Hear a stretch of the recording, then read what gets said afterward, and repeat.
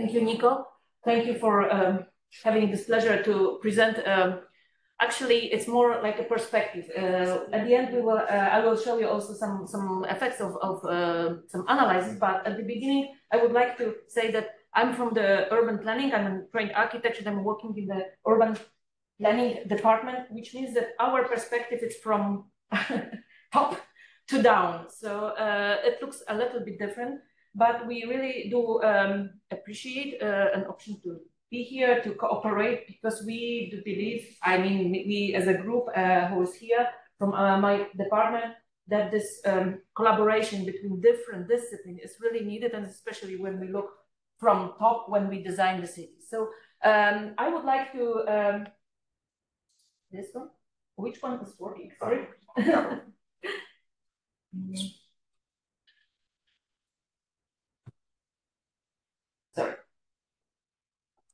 So um, the first picture, yeah. Um, when we look at the small scale, uh, which is the scale of a tree, we know uh, that it's a good um, uh, carbon container, but how it can affect uh, a global climate. So I use a picture from a book, uh, which is well known, when um, a mole said, I'm so small, but the boy said, but you will make a huge difference. And this is uh, quite of a thesis that we want to present uh, here, or I want to present when um, I think about the different scales. So from urban scale into the small um, window scale. Yeah? um, so um, it, has been uh, there has been done uh, research uh, by NASA when they um, were capturing the trees globally and um, trying to find out how much carbon do they not consume but um, contain.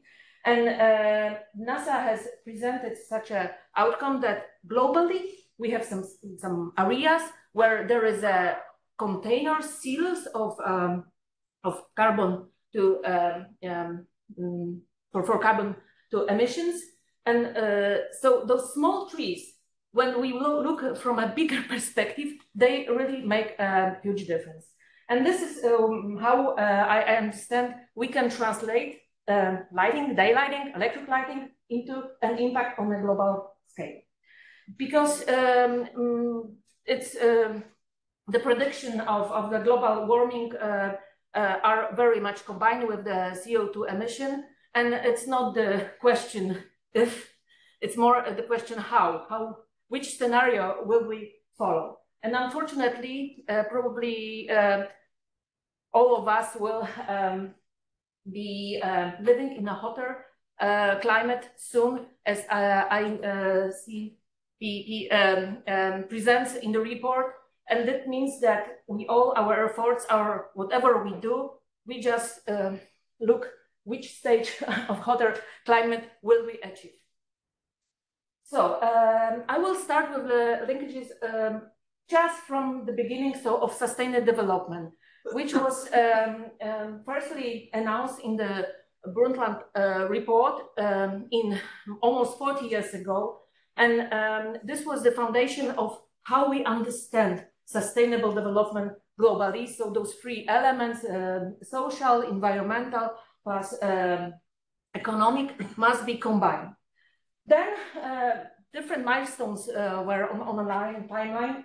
And the one that we especially should focus right now is a Kyoto Protocol, when uh, different parties agreed on um, uh, carbon um, CO2 emission reduction. And uh, within the global perspective, we have also um, different um, perspectives um, uh, due to the different regions. Then a um, couple of years later, we have uh, sustainable development goals um, defined by United Nations. And right now we find those uh, uh SDGs everywhere. Yes, even in banking, in finances. So SDGs are like kind of a new Bible, I can say, for, for a, a future of the world. What has uh, been also agreed globally that we need to limit uh, the global warming below uh, two degrees. And this is also a global agreement called Paris Agreement. Nevertheless, the trends uh, which are predicted are still showing us that we will um, have hotter climate, we will be growing, uh, uh, but where, where actually it's more uh, in south. and uh, what is more important, we will live in the city. So it means that densification or the um, compactness of the city will, will grow. And there are also other issues, uh, especially regarding the need of energy that is uh, underlined. So how we can um, translate sustainable development goals into urban planning, so our disciplines, and that is why I will have few, let's say, uh, slides as well to just to show you the background.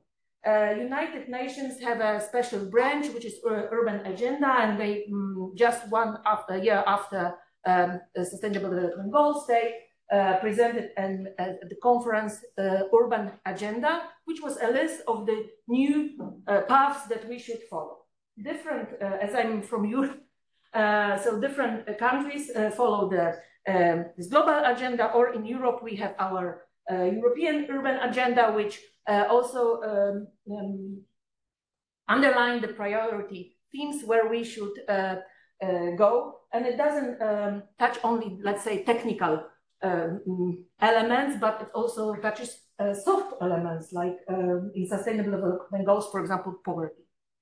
Then um, recently in the European Union, as we introduced the Green Deal, there was a need to um, present some kind of uh, initiatives that will present a good examples as we were uh, just today, um, um, for example, uh, explaining. And a new European Bauhaus was um, presented uh, by, by, Ursula von der Leyen. And this is like a collection of a good uh, examples, like case studies, good examples to be followed uh, in the future and still on, on of course, on the um, reproduction.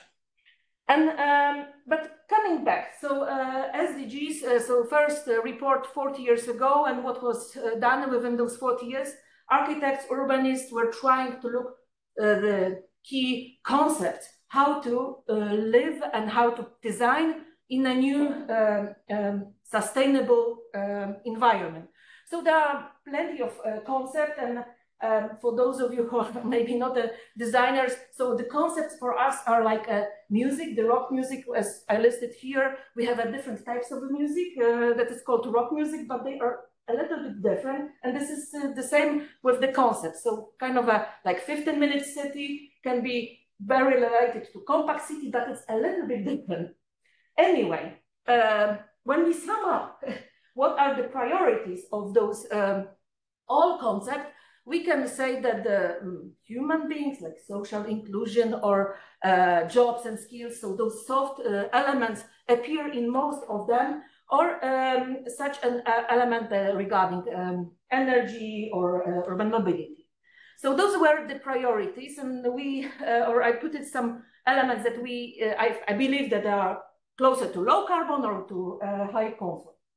Then uh, those um, priorities were um, or can be transformed into uh, uh, components, elements regarding greenery, technology, um, mm, um architecture, and, and, and uh, how we implement it.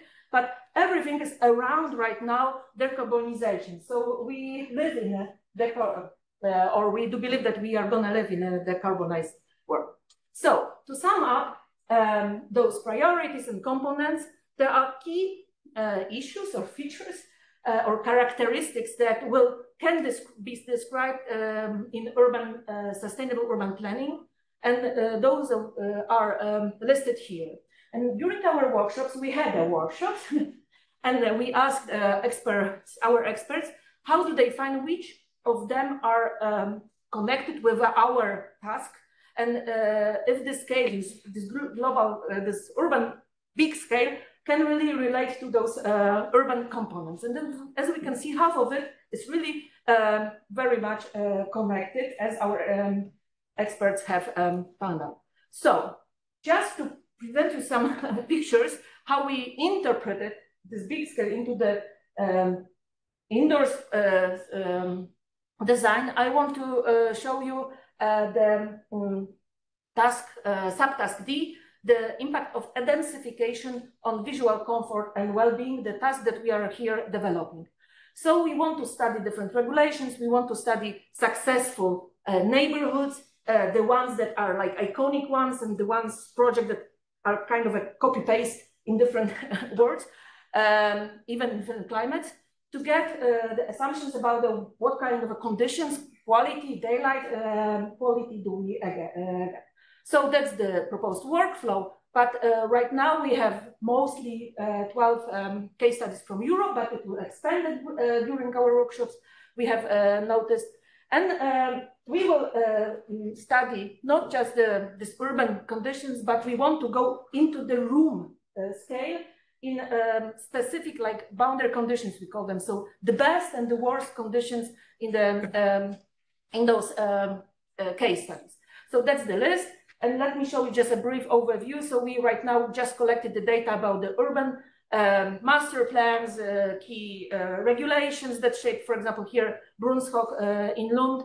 And then we go into the urban block scale and we analyze um, the parameters of urban block scale. And uh, by using software, trying to simulate uh, microclimate, wind, and daylight sun hours and daylight provision. So this is on the, let's say, urban scale, um, um, urban scale, and then we look for the best and the worst um, case scenarios to go into detail.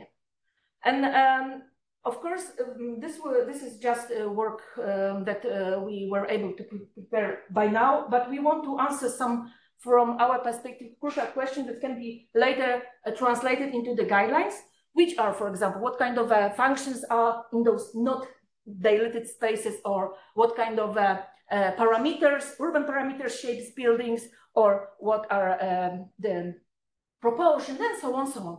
So this kind of, uh, let's say, maybe I hope we will also uh, find out a nice graphic, as it was said before, we need to be communicative uh, in a graphic way to um, find out the, the solutions. But that's not all. We're, whoops, uh, so this is the study that we do um, within the staff, but parallel we are also doing uh, some other uh, projects and just to show you how this urban scale can go into the uh, indoor scale and how it can shape, reshape um, a settlement. This is the case of the densification of block of flats uh, housing estate, very popular in Poland. So the densification and urban regeneration wave, it's like towards this kind of a new um, uh, densification uh, scenarios uh, that are to be invested in, in Europe. So in this um, case, we asked, um, or I asked student to look for the regulation, urban regulations, and to find the scenarios of densification. And we had, let's say, three um, options: the low one and the most, the maximum one. And actually, the uh, middle one was uh, chosen. Of course, the developer may say, I will earn um, much more in the uh, lower, um, the, the, below um, scenario, but we wanted to um, look also on the well-being and human uh, perception. And in this case, the views shape uh, actually the urban uh, composition. So some elements, uh, some buildings had to be uh, shifted or they had to be um, reduced due to the quality of view of the people who used to live in the uh, urban settlement. So uh, this was, I'm finishing. So this is one study. when I was trying it was 10 minutes and then I'm it's okay. The, another project that I'm doing with, with uh, Lund University, it's uh, translating also one of those um, components of sustainable uh, development, which is uh, blue, uh, blue-green infrastructure and the system of blue-green infrastructure within the whole district how, and then how it shaped the space in between the buildings. So uh, the blue-green infrastructure with this different system, and then the daylight provision, because it's not like separate. We want to combine those two uh, elements. So um, both um, having in mind the daylight simulations uh, here, mostly in urban interior, and um, uh, designing landscape. So just uh, beyond, I want to just, uh, if you allow me, uh, one more minute, because uh, it's very interesting. We uh, in urban design discuss that sustainable development are not anymore um, enough to do work with. We should go beyond. We should think about degrowth, which may sound a little bit scary, but it's more about feeling, uh, um, designing uh, spaces or neighborhoods that are self-sufficient or a donut economy. So this is something that to come up. But to conclude, Of course, um, um, and it's a good um, information for us for the task, and I hope um, for, for um, also decision makers. Uh, lighting and solar energy are kind of uh, listed in ICPP um, report, one of the key elements to uh, mitigate the climate. That's only the question of the trade-off. We also today discussed that it's some, we have to have trade-off, uh, like I showed, in, for example, in the, one of the projects. Uh, but both elements are very, very um, mm, important in the mitigation. So um, there is a call for action. There is a call for uh, interdisciplinary uh, research and, and uh, of course, different um, proposals because we want to achieve uh, blue scenarios of global warming, not the red one. And then, final, from the same book that I uh, bought last time in London at our meeting, I hope that one day you will look back and realize how hard it was. And um, uh, you cannot see now. And just how well you did. This is my, I hope that in the future we will be able to be so of. Thank you very much.